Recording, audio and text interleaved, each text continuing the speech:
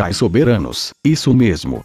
Depois de duas derrotas lamentáveis seguidas, finalmente voltamos a ganhar. Até porque se nós não ganhar essa porra o fogo ia cantar. Não é que a gente seja agressivo, apenas faríamos o certo. Pra fazer o certo. Botar fogo no ônibus, quebrar as coisas. Enfim, o São Paulo colou no Pacaembu para jogar contra a estação Linha Azul São Bento. Que se a intenção deles era ganhar da gente. Começaram errado, só pelo simples fato de jogar de azul. Porque se o jogo é contra um time azul, a vitória é garantida.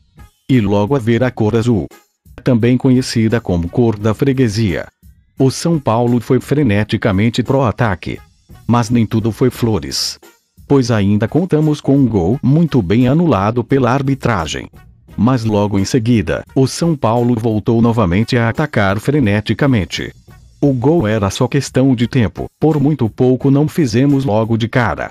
Até que o profeta chutou lá da casa do caralho para fazer o único gol da partida. Eita porra caralho buceta, que golaço da porra. Uma lenda, um mito, o Pelé branco das profecia. Em seguida ainda conseguimos a incrível proeza de tomar pressão de um time que usa azul. Que feio! Sem falar que ainda por cima conseguimos perder um pênalti. Mas para a alegria dos automóveis, esse pênalti não influenciou muita coisa no resultado final da partida. E ficou por isso mesmo, mas o que importa é a vitória, antes de nós estrear na Liberta.